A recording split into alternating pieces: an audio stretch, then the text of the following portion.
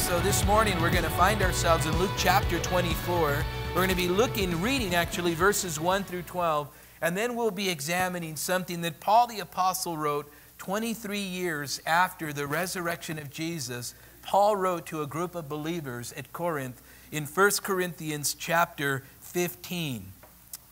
And so, a couple of things as we prepare our hearts. I titled the message this morning, If Christ Had Not Risen. It's the title of the message out of Luke chapter 15, or excuse me, Luke chapter 24 and 1 Corinthians 15. So, as we've been taking a series of verses throughout uh, this week and kind of walking through what we call the Passion Week, we now end up in chapter 24, where the title in my Bible, at least it says, He is risen. Let's look at verse 1. Let's draw our attention there. Luke chapter 24 and verse 1. It says, Now on the first day of the week, very early in the morning, they and certain other women with them came to the tomb, bringing the spices which they had prepared. But they found the stone rolled away from the tomb. Then they went in and did not find the body of the Lord Jesus. And it happened as they were greatly perplexed about this that behold, two men stood by them in shining garments. Then, as they were afraid and bowed their faces to the earth, they said to them, Why do you seek the living among the dead? He is not here, but is risen. Remember how he spoke to you when he was still in Galilee, saying, The Son of Man must be delivered into the hands of sinful men and be crucified, and then the third day rise again. And they remembered his words. Then they returned from the tomb and told all these things to the eleven and to all the rest. It was Mary Magdalene, Joanna, Mary, the mother of James, and the other women with them who told these things to the apostles. And their words seemed to them like idle tales, and they did not believe them. But Peter arose and ran to the tomb, and stooping down, he saw the linen cloths lying by themselves and he departed, marveling to himself at what had happened. We look at the passage here in Luke chapter 24, and it is what we would call the resurrection passage, in where we see that the disciples of Jesus and also the women that followed Jesus came to the tomb of Jesus on Sunday morning. We know that Christ was crucified on the Passover there on Friday. We celebrated this together as a body here on Good Friday. Jesus was laid to the tomb that evening. And Jesus' body in the tomb there all day Saturday. Jesus was risen from the dead early Sunday morning. The Bible says here in verse 1 Now, on the first day of the week, which would be Sunday, very early in the morning, is when they came to find the tomb empty. Perhaps many questions, sorrow filled their hearts and their minds, even though these women desired to give Jesus a proper burial. Because Jesus' body had to be taken down quickly and placed in the tomb, and Jesus was not given a proper burial. This was done out of love. But notice the atmosphere. The atmosphere was that Jesus had died. Death had now invaded their relationship that they had with Jesus their rabbi, their Savior, their Lord, the one who had been with them for a period of about three years. All of them have had their different encounters and stories with Jesus, but some of the greatest stories were the miracles that Jesus performed among the people.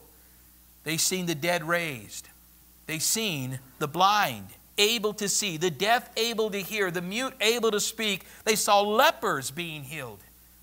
They seen many miracles, feeding of 4,000, feeding of 5,000 men and women and children beside. There was a multitude of miracles that they seen time and time again, and yet all of this ended in one fateful blow when Jesus was on the cross and he yielded up his spirit and he died.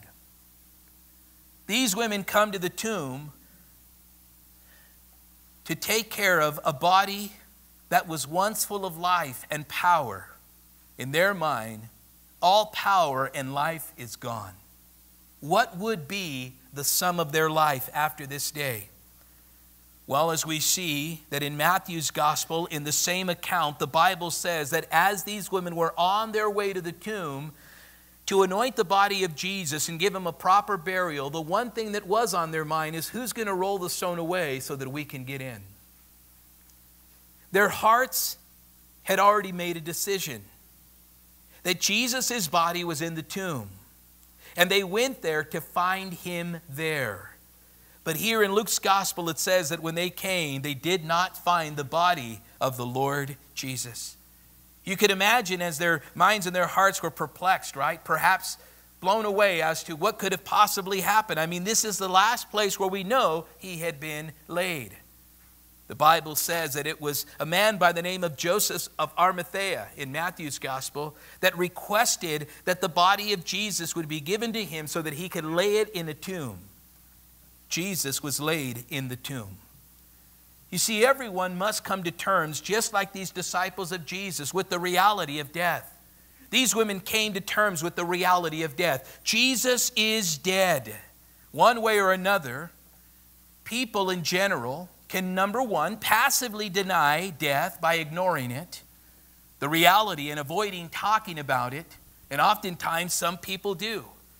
They're so fearful of death and they, and they passively deny death or they create other things to believe and they ignore the reality of it and thinking that by denying it or ignoring it that they can avoid it. But listen, death is a guarantee. Second thing we see is that people actively battle death.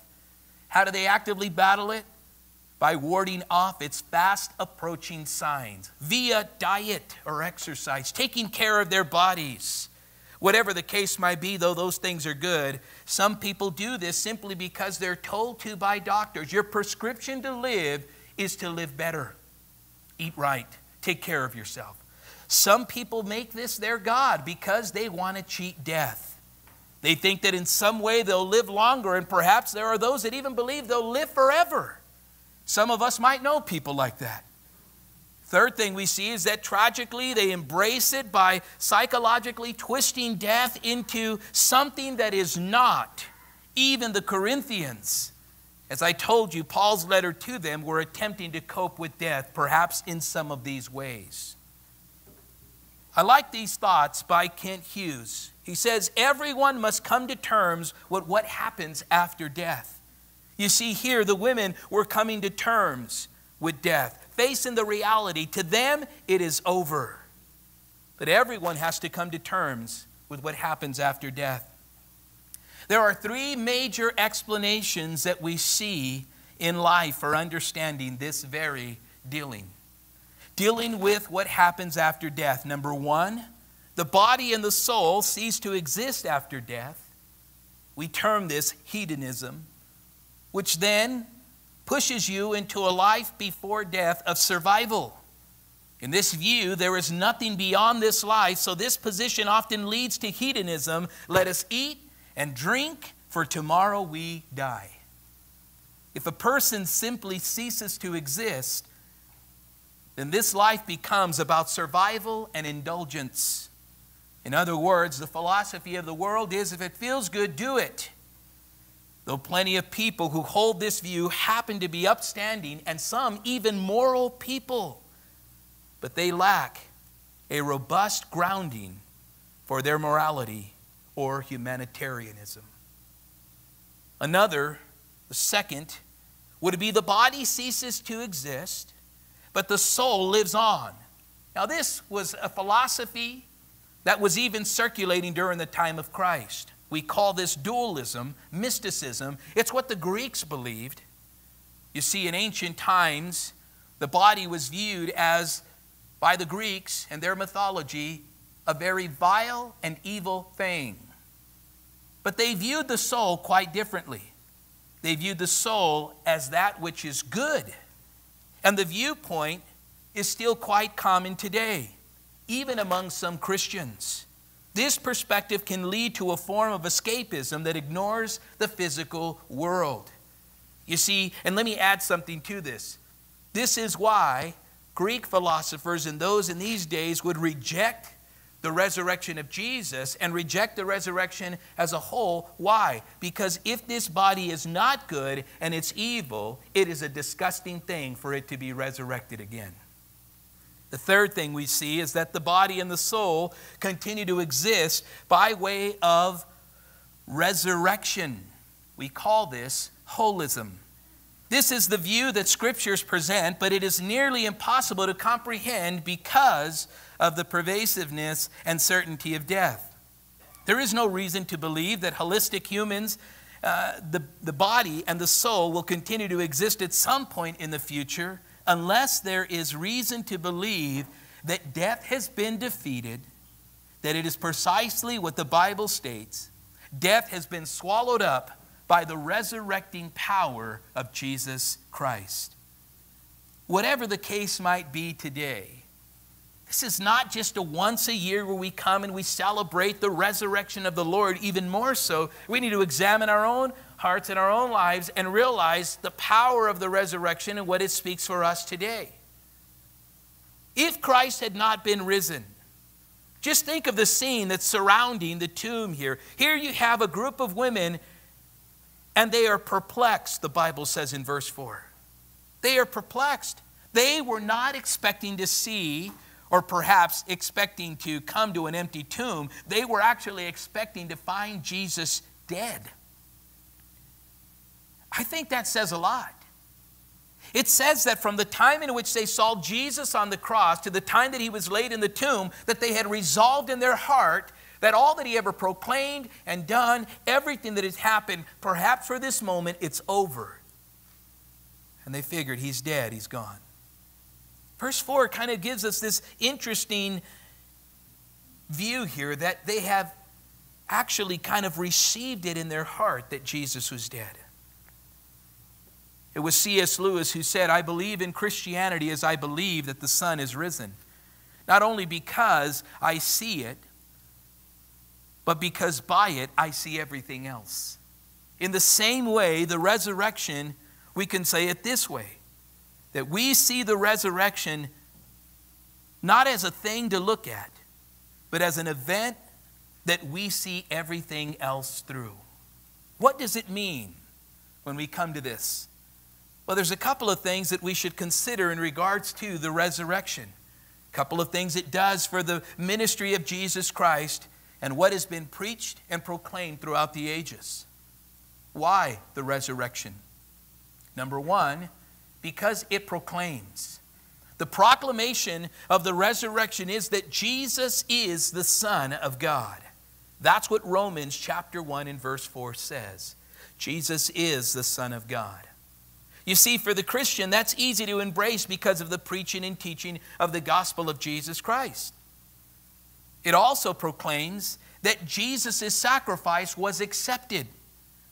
Jesus, being raised from the dead, testifies that his sacrifice was accepted before God the Father, according to Romans chapter 4 and verse 24 and 25. The third thing is it proclaims the newness of life. You see, the very power of the resurrection, as we've heard stated, so many passages that we can share, but just that great reminder that the resurrection of Jesus Christ puts an end to the bondage of sin in our lives. That's what Romans chapter 6 and verse 4 says that we have a new life.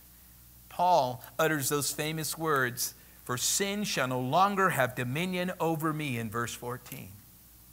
Think about the power of sin and its grip that it can have on someone's life. We know it all too well because we've been there. Another thing that the resurrection does is it proclaims eternal life and an end to sin and death. The resurrection proclaims eternal life. What does that mean? It doesn't only mean that we will be in heaven in all eternity with Jesus, but it means that we truly never die. We live forever. Now, I know that might be hard for some people to swallow because our entire lives we've seen so many things die around us loved ones, family members, parents, some of us even children. Death has become something common, to the life that every person lives. We notice that if it's not the loss or the life of someone, we know that things around us die. Things have expiration dates. Nothing lasts forever in this life. With this proclamation of eternal life and an end to sin and death, we see, according to Romans chapter 6, in verses 5 through 11, the very truth and power of this. You see, the resurrection in what they have come, they have not yet experienced it yet. They come to a tomb, and what they're blown away by is that the body of Jesus is not here. I want you guys just for a moment just to kind of put yourself in their place. The Bible says in verse 4 two men stood by them in shining garments. I kind of love this whole picture. We've done a lot of things with these, right? You, you teach the resurrection of Jesus Christ from the different gospels, but you know, the truth and the reality is, is that the angels appear to encourage. But Jesus also appears at the tomb, not in it, but outside of it. You know, there have been, from the very start of the resurrection, those who have begun to deny it before Christ was even risen. Before Christ could even be raised from the dead, doubts of the resurrection had already arisen, and it became a common belief and a common view from the very start. As a matter of fact, remember what was said in Matthew's gospel in regards to the resurrection of Jesus. The Bible says in verse 62 of Matthew chapter 27, it says, And on the next day, which followed the day of preparation, the chief priests and Pharisees gathered together to Pilate, saying, Sir, we remember while he was still alive. I think that's an interesting thing. While he was still alive. The religious leaders are saying, We remember while he was still alive, implying what? That they believed with all of their heart that Jesus was dead. Well, they said, Sir, we remember while he was still alive how that deceiver said, After three days, I will rise. Isn't it interesting that the disciples come to the tomb and they're shocked that the body's not there? Not one of them have drawn the conclusion that Christ is risen from the dead. But yet, the religious leaders who put Jesus on the cross and who, and who made a big thing about killing Jesus, well, guess what? They believe more than the disciples do. Just in case if this guy was right. I mean, after all, he performed a lot of miracles. He did say that after three days he will rise. Therefore, command the tomb to be secure. Listen to this until the third day, lest his disciples come by night and steal him away, saying to the people, He is risen from the dead. You see what they're saying there? They're saying, Listen, what we need to do is we need to seal this tomb. You need to set guards on it. You need to make sure that nobody goes in and out, nobody is able to tamper or do anything with up until the third day, he says, because he says on the third day he will rise. And here's the thing deception has already started. They believe that Jesus was the originator of deception, but this very conversation that they're having is deception at its core. Look at what it says here. So the last deception will be worse than the first. What are they talking about? The last deception here is that Christ is raised from the dead. What was the first deception? That Jesus is the Christ. They rejected it. And they said, Listen, if his disciples steal his body, then this last deception is going to be worse than the first. Because they're going to go around and they're going to say that the body of Jesus was stolen. Who made this false thing up? The religious leaders did. The very start of Jesus being laid in the tomb was already met with rejecting that Christ could be risen from the dead. A couple of other theories, one called the hallucination theory that perhaps that when jesus appeared to all these people that, that they were just hallucinating because of their emotions. It was so high. And what, and what mary seen at the tomb was a stone rolled away and, and the disciples peter and john went in to look and, and, and all that they seen the body was not there. The linen cloths were lying there. And the angel had even spoke to them that it was all just a hallucination that it wasn't what they really seen. Now that might be so with the group that went there but what do you do over a period of about 50 days, right? where Jesus appeared to over 500 people. Not all at the tomb, but in different places. What do you do with Saul of Tarsus in the book of Acts in chapter 9, who saw the resurrected Lord? What do you do with all these people at different points in their lives during that time that seen Jesus, the resurrected Lord, in different places at different times, and they all had the same hallucination? I think the one who made up the hallucination theory was hallucinating himself. The other one that we see here in Matthew chapter 27 in verses 65 and 66 that the body of Jesus was stolen. Well, the religious leader started that one. And no, nobody was hallucinating, and nobody stole his body. Here's another one it's called the swoon theory. In other words, they say that here's what happened Jesus endured all this pain, lost a lot of blood. It was like the worst, you know, thing that could have ever happened, trauma to somebody's body. And what happens is that Jesus, rather than dying, Jesus passed out. He passed out.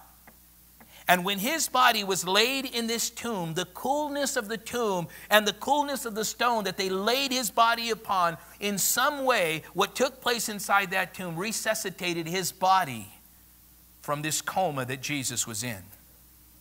Well, if that's the case, then, was Jesus strong enough after that to move the stone so he can walk out?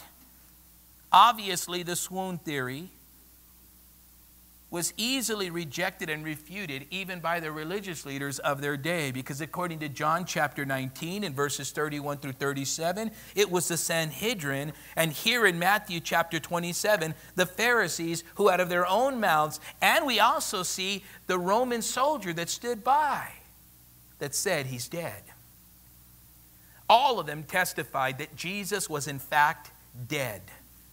So the swoon theory is just another theory but how about this one? Another one that has been kind of circling around, kind of as old as the stolen body theory, would be the no burial theory. In other words, they believe that Jesus was never laid in the tomb, that he was never placed there. But what's interesting is you would have to now go against the accounts of the Roman soldiers who took the time to seal the tomb because they knew that the body of Jesus was in there. Friends of mine, here's what I can tell you people will call you crazy, people will say you're dumb, people will say it's just a myth, it's all lies. People will criticize and ridicule you. Many theories have gone out hallucination, stolen body, swoon theory, no burial, and perhaps even the one where they believed that Jesus' disciples themselves stole the body. How could it be that these disciples who would steal Jesus' body would be willing to die for a lie? I have yet to meet someone who is willing to die for a lie. Whatever the case might be, here's what we do know is this day, this joyous occasion that we celebrate like today, the resurrection of our Lord, is not just a day that we should wait once a year to celebrate. Here's what we do know is that Christ was risen from the dead. And why is this important? Why is this the very pinnacle of our Christian faith? It was Timothy Keller that said, The resurrection, well, this is the hinge upon which the story of the world pivots. Because this is what makes, at least for the believer, their world. This is what changes everything. Why? Because listen, as you look at various religions and belief systems around the world today, not one of them has one of their leaders dying for its servants or worshipers, laid in a tomb and then raised from the dead. Why is this so important? Well, see, Paul would go on to say that there is great hope that we have. You see, today, Many of us will probably celebrate in different ways. I always say, be careful how you celebrate. I personally choose and have always opted out to celebrate in a way that would in any way take from the very power of the resurrection. And today, it's happening even in churches. You see, the thing about all of this is do we, one, perhaps take for granted the resurrection and the very thing that has made us right with God? Or perhaps maybe the reason why we substitute the resurrection with we have to have a party or a picnic. Or we have to celebrate it in this way with, with baskets and Easter bunnies and eggs. Friend of mine, I'm sorry to break it to you, but that is a substitute for this very powerful teaching today. The sad reality is, is it's not that you're a bad person if that's the practice. You're not going to go to hell, man, if you hide some eggs and go find them, especially the ones that got money in them. Those are the good ones. but here's the whole point that I'm trying to get across. How is it that in some way we begin to minimize one of the most pivotal and powerful teachings of the Christian faith? That our God, the Lord Jesus Christ has raised from the dead. How do you equate that? Like tonight, our kids in their children's ministry production are going to relate this to us the resurrection of our Lord. It's no greater joy than to teach your children the truth.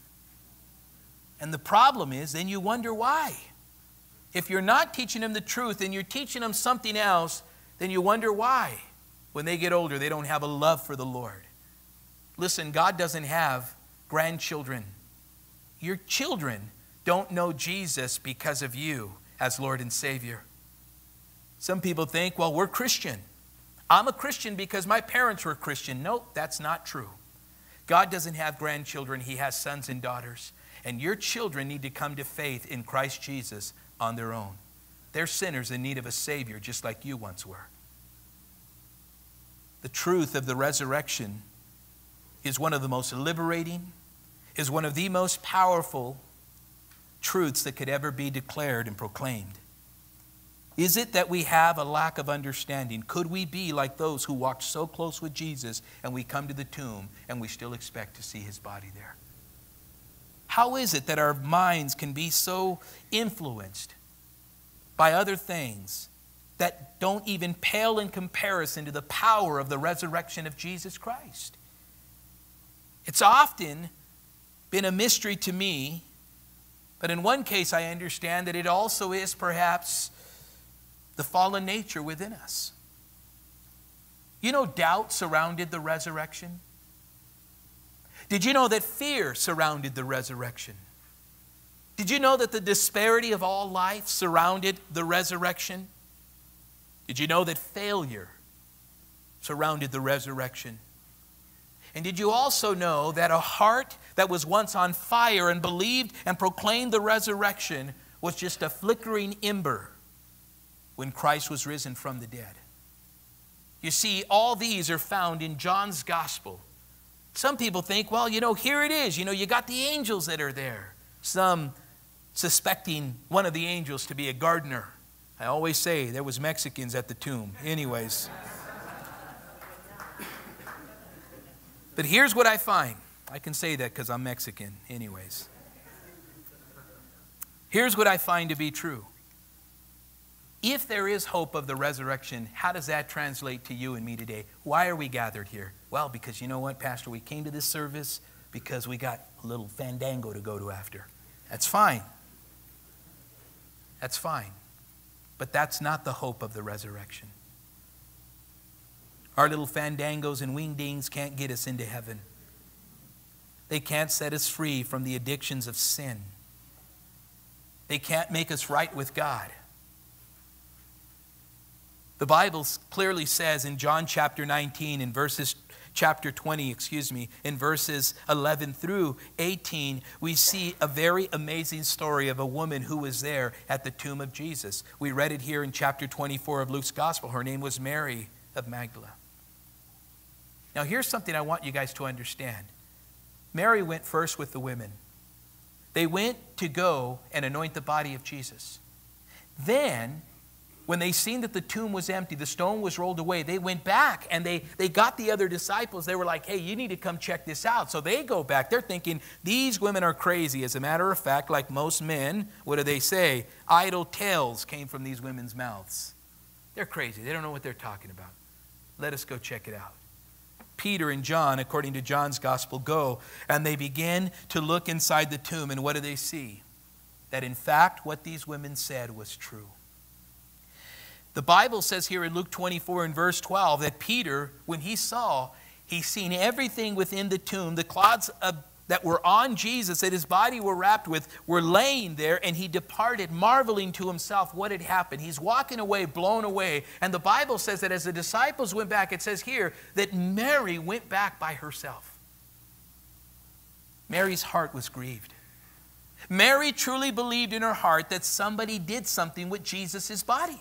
As a matter of fact, when they appeared to her, there the angel she says, Where did you lay him so I can go and I can get him? Her desire was to go. She really thought Jesus was somewhere else, not thinking that he was risen. Think about the pain that filled her heart. Have you guys ever just studied the story of Mary of Magdalene? I know this movie, The Passion of the Christ, gives a false view of her. She was not a prostitute, so that's false. She was a woman who had seven spirits casted out of her. She was filled with demons. And her life was riddled. Her life was a mess, it was ruined. Some of us might know people like that.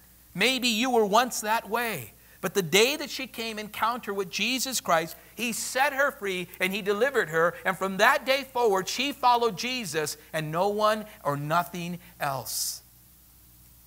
And the least that she could do was even follow him to death. Oh, you guys don't see the picture.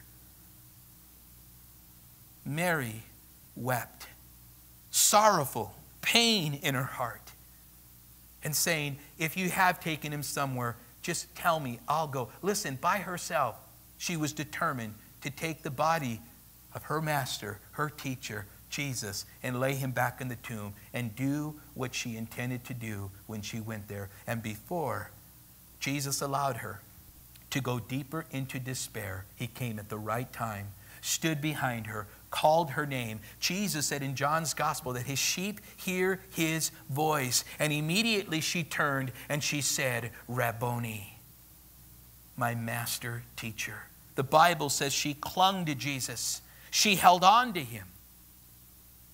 And those tears of sorrow and pain and disparity of all life became joy. In that moment, right there, all the pain and sorrow that she was experiencing, an overwhelming sense of joy came over her because who was behind her? The resurrected Lord. Do you see the idea that we get from this conclusion? Do you know someone that is despaired of all life? Maybe because their spouse has died. Maybe because their child has died. The tragedies, sickness, and disease perhaps has been declared over their life. Loss of wealth, betrayal, whatever the case might be, they lose a sense of joy, happiness, and their lives are just full of sorrow. Death seems to be the only way out, they think. Can I tell you guys that because of the resurrection, their sorrow, maybe even yours, can be turned to joy? That's why there's hope in the resurrection few verses later, you have the disciples. The Bible says they're, they're fearful, they're afraid, they're in the upper room, they're thinking in their minds, what just happened to Jesus is going to happen to us. It's over, man. It's done. Let me tell you something about this picture. These men seen the dead raised. They've seen the miracles of Jesus, and yet here they are, guys, listen, fearful and afraid, figuring that it's just a matter of time before they die. Fear is a terrible thing. Phobias. It is fear sometimes, the fear of man or the fear of timidity. Remember when Paul wrote Timothy in his second letter to him, he says, God has not given us a spirit of timidity, a spirit of fear, but of power, of love, and of a sound mind. Why? Because the spirit of timidity, a spirit of fear, well, it paralyzes you. You know that fear and faith, the fear of timidity and faith cannot coexist. You can't serve two masters, Jesus says. You'll love one and hate the other. What does a life of fear look like? Some of us probably know people that live in fear. Well, in John chapter 20, in verses 19 to 23, the disciples were in the upper room and they were fearful. They were afraid. They said, It's over, it's done. Jesus appears to them and says, Peace.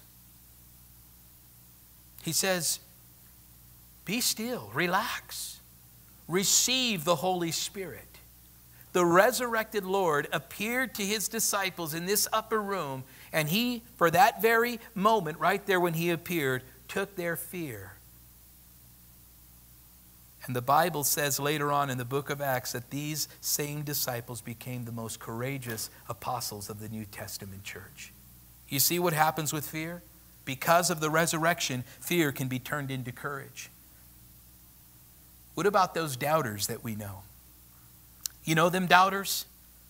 You know that Christians doubt as well. That's why many of them are weak in their faith. They're not strong Christians because they doubt. They say they believe, they say they love, they say they trust, they say they rest, but they don't do what the scriptures say. When they pray, they doubt, and you shouldn't. But there was a disciple of Jesus who actually doubted. He said, You know what? I got to see it to believe it. It wasn't that he rejected what Jesus said he was, but, but, but what he rejected was the fact that Jesus could be risen from the dead. Mary comes back and tells him, and, and Thomas says, Nah, I, I don't know. You know, you, you, you know, you, you know, you had some demons in you before. You're kind of crazy, right? I mean, that's what you would say. I know I would say that. Now, don't listen to her, man. You know, which one are you talking to? Because there's like seven of them in her. Anyways. But Thomas is there, and Jesus appears to Thomas. And Jesus says, Thomas, come here. He says, Handle me. He says, Touch me.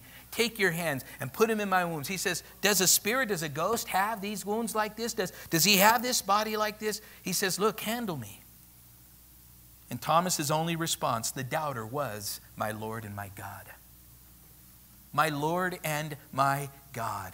Thomas's doubt became belief because Christ was risen from the dead. If you have doubters in your family, if you're a doubter yourself, listen, there is hope. Don't give up on them. How do I know there's hope? Because Christ was risen from the dead. This is a common one. You ever met someone that has fallen? No longer serving the Lord as they once used to? No longer trusting in the Word of God or praying? Yeah, we have a term for them. In the church, we call them backsliders, but that's not a proper term. I don't mean that it's not a nice term, it's the right term, but it's not a proper term because people that walk away from the church are not only backsliders, the church is filled with backsliders. Let me put it to you this way.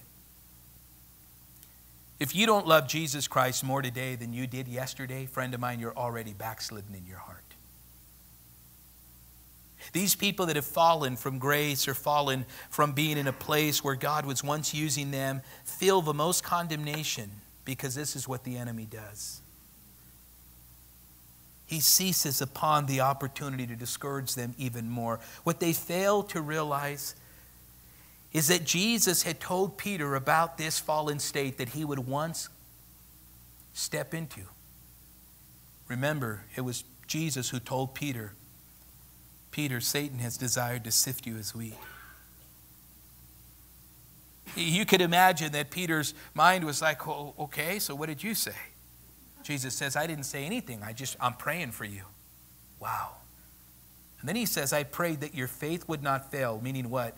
You're, go- you're going you're to fall, Peter, and you will be sifted. I didn't pray for protection. I prayed that you would go through it and not despair of all life. And then Jesus says, And when you come back to me, implying what? You're going to get through it. And when you come back to me, you're going to go and you're going to restore your brethren.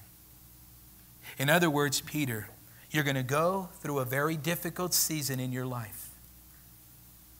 And people can criticize Peter and say all of this. They say a lot of things about Peter denying Jesus, but Jesus told him he was going to do this. You can imagine there the final time in which Peter denied Jesus. They had a last conversation. You ever heard somebody say, you know, they spoke to me with their eyes? Well, sometimes that's a true statement. And that's exactly what Jesus did with Peter. When Peter denied Jesus for the third time, the Bible says that while Jesus was arrested, apprehended by the priest and his officials, that Jesus looked across the courtyard and locked eyes with his disciple Peter. And it wasn't like what you would say and I'd say, told you. Wasn't that? That look to Peter was, remember what I said. Not that you would fail, but that you would get through it. And I love John chapter 21 in verses 15 through 19 because that's what Jesus did. He went and he met Peter. And the famous question, Peter, do you love me? And Jesus restored Peter. That who was once fallen has now been restored. Can I tell you? That those that have fallen from grace, those that have stepped away, yes, my heart aches because I know the turmoil and the trouble and all the things they're going to go through, but I know that because of God's goodness and faithfulness, because Christ is risen from the dead, they can be restored. My hope is in the power of the resurrection. Maybe we're not fallen. Maybe ministry and church and what we do and what we say, it's kind of like a switch. We can turn it on and turn it off. We call those light switch Christians. Kind of like the two on the road to Emmaus in Luke chapter 24, the text that's before us. These were disciples of Jesus. As a matter of fact, these disciples of Jesus are leaving Jerusalem while the disciples are in the upper room in Jerusalem. Everybody's there, and these two find it necessary to leave. What was their problem? Well, the Bible says here that these guys are talking about what had transpired, and the resurrected Lord comes alongside them. They don't know that it's Him, and He engages them in a conversation. And as they begin to speak with Him, you know, Jesus is like, What are you talking about? And they're like, Where have you been? Have you not heard of what's gone on? And they begin to talk about this individual who they were following. And he says, We thought he was going to be the one, and now it's the third day, and we've heard that he's risen from the dead. But they're still walking away from Jerusalem. They followed Jesus. They testified of his miracles and the raising of the dead, all the things that the disciples seen, these ones seen also. But remember, not everybody who follows Jesus follows him for the right things. These two to, uh, on the road to Emmaus remind me of a lot of people in the Christian faith. Jesus underperformed, and he wasn't who they thought he was to be. The Bible says in verse 21 of chapter 24, but we were hoping that it was he who was going to redeem Israel. Indeed, beside all this, today is the third day since these things have happened. We thought he was going to be the one, but he wasn't. Isn't this interesting? And then Jesus gives them a very profound truth about their heart. Verse 25, Jesus says, O foolish ones and slow of heart to believe in all that the prophets have spoken.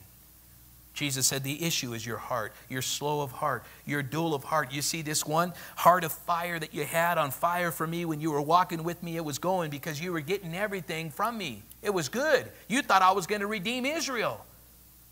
They were like the ones that were saying, Hosanna, save now at Jesus' triumphal entry. And now that Jesus is dead and died on the cross in their mind, well, there goes our political Savior. How do I know this? Because they're going back to Emmaus. Emmaus is where it all started with Judas Maccabees and the Maccabean revolt. And if you were from Emmaus, well, guess what? You were there putting together a political leader that can deliver Israel from their political uh, uh, need and uh, Rome being over them. And this is what they were doing. They were going back, and what they were going to do was look for another Savior that could lead them. Imagine how Jesus, listen to this, left Jerusalem, left the tomb, left the disciples, left everybody to go after these two. Why? Because Jesus said, you leave the 99 and go after the one. What good would it be for Jesus to say it and not do it? Jesus, then we know, as they get closer to Emmaus, it's getting dark in the evening, and all of a sudden, Jesus says, I can no longer go with you any further. And they said, No, please stay with us. Please take the time and, and, and, and, and sit with us and have a meal. They compelled, the Bible says, Jesus to stay with them. And Jesus then goes and he stays with them. And it was there at that meal that all of a sudden Jesus decided to reveal himself to them. And the Bible says their eyes were open, and immediately when they saw Jesus, before they could even respond, Jesus disappeared. What was so amazing about that passage is this is what they said.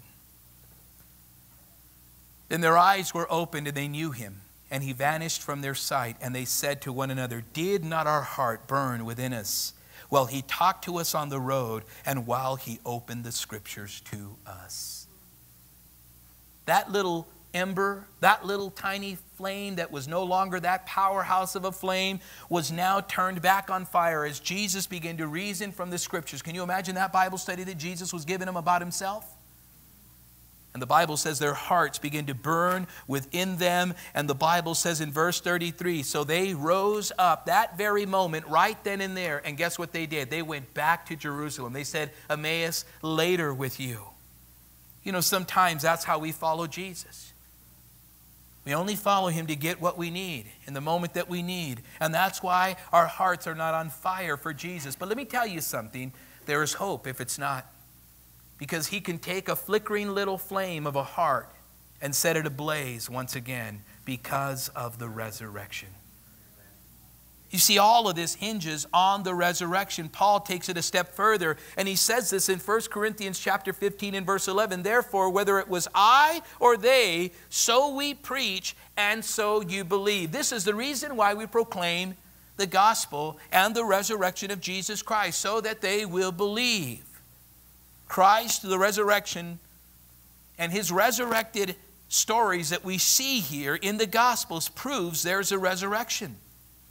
Now, if Christ is preached that he has been raised from the dead, how do some among you say there is no resurrection of the dead? Now, some didn't believe. Some rejected, some believed. He's writing to the church. Now, listen, guys, you might think, how could people not believe this? Let me tell you, this is common even here at Living Way.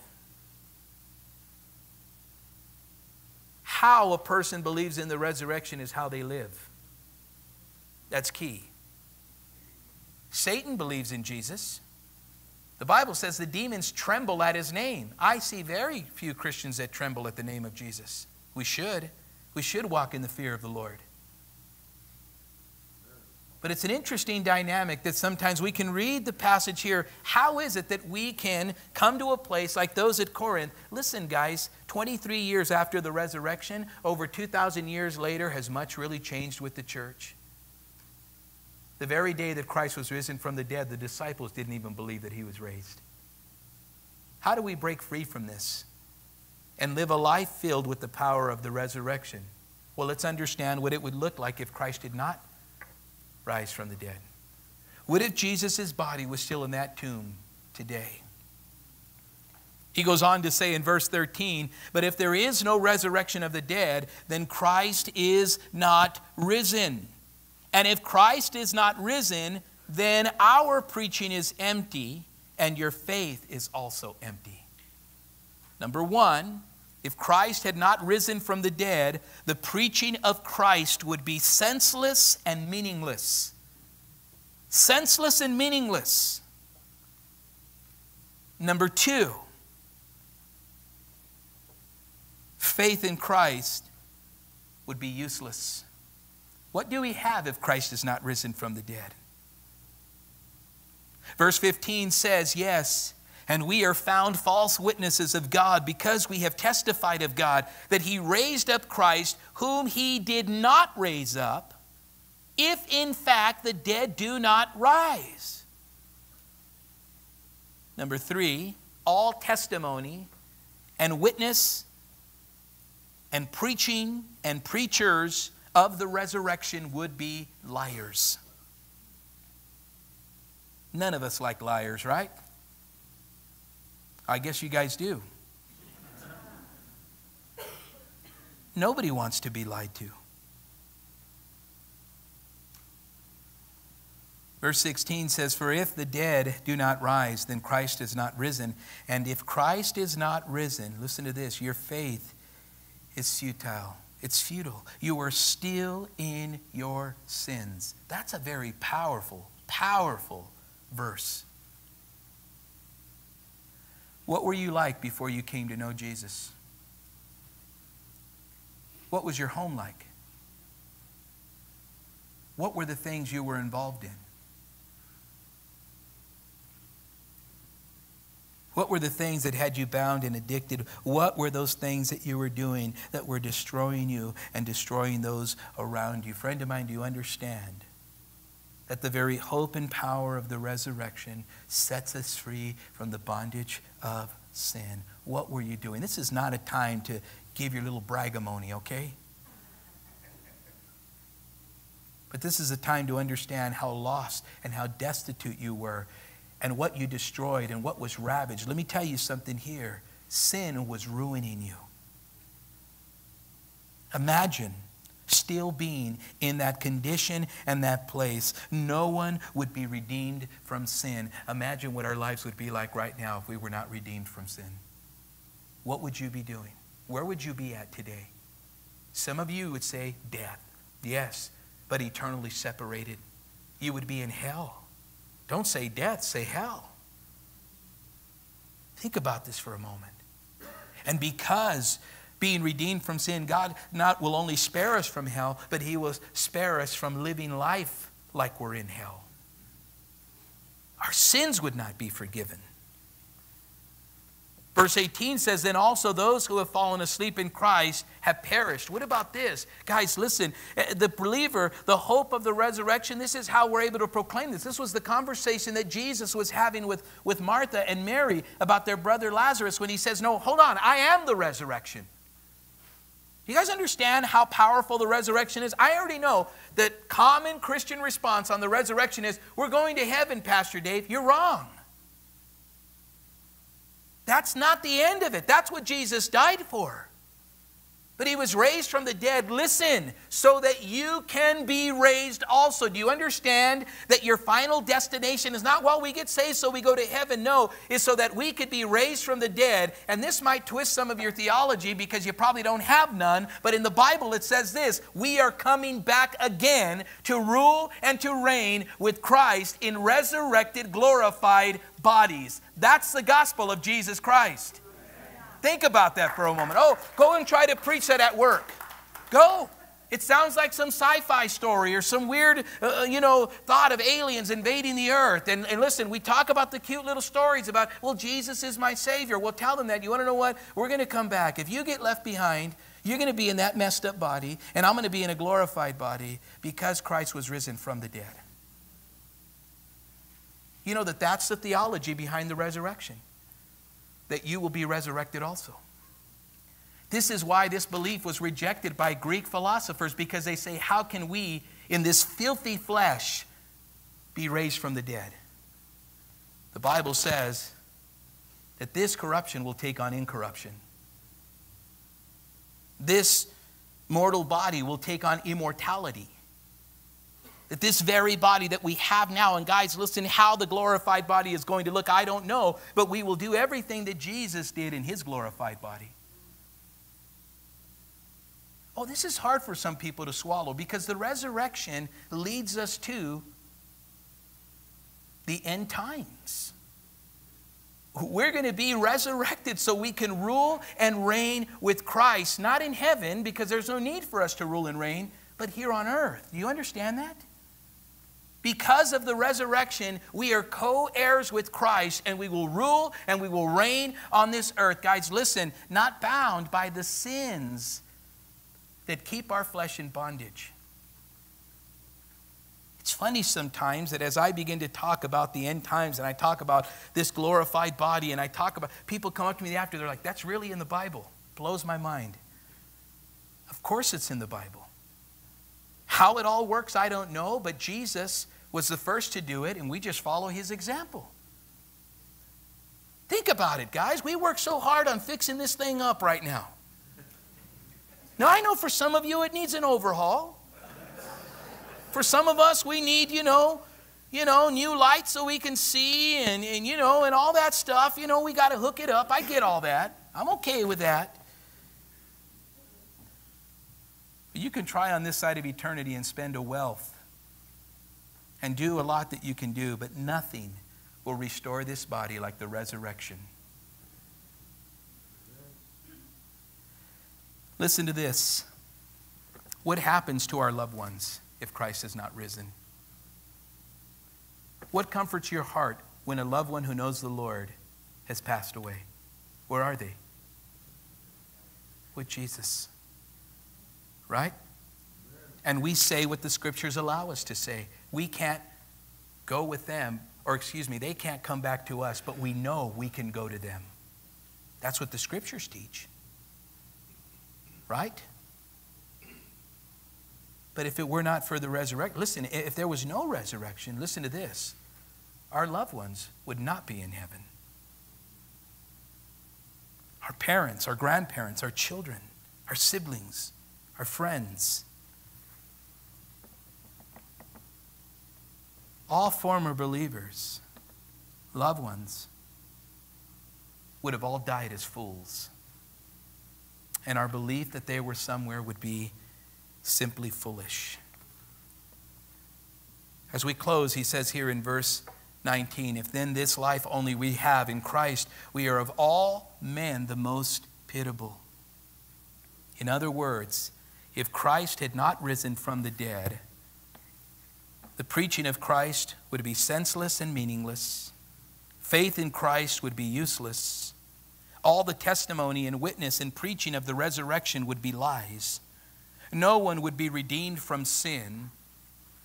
All former believers, loved ones, family members, and friends would have died as fools, and believers would be the most foolish, pitiable people in the world. Now, I know sometimes the enemy makes us feel that way, but that's not the truth. Look at verse 20. But now Christ is risen from the dead and has become the first fruits of those who have fallen asleep. Do you know what that means when it says he's become the first fruits? It means that Christ rose first. The promise is we will rise after. He is the first fruits of our resurrection. So, what does that do for us? I want to give you guys a picture and a prayer that I think is important. In the valley of the vision, here's a prayer that has gone out. Listen to this prayer. I think it kind of sums everything up. Oh, Heavenly Father, teach me to see that if Christ has pacified thee and satisfied divine justice, he can also deliver me from my sins. That Christ does not desire me, now justified, to live in self confidence in my own strength, but gives me the law of the Spirit of life to enable me to obey thee. That the Spirit and his power are mine by resting on Christ's death. That the Spirit of life within me answers to the law without. That if I sin not, I should thank thee for it that if I sin, I should be humbled daily under it, that I should mourn for sin more than other men do. For when I see I shall die because of sin, that makes me mourn. When I see how sin strikes at thee, that makes me mourn. When I see that sin caused Christ's death, that makes me mourn. That sanctification is the evidence of reconciliation, proving that faith has truly apprehended Christ, thou hast taught me. That faith is nothing else than receiving thy kindness.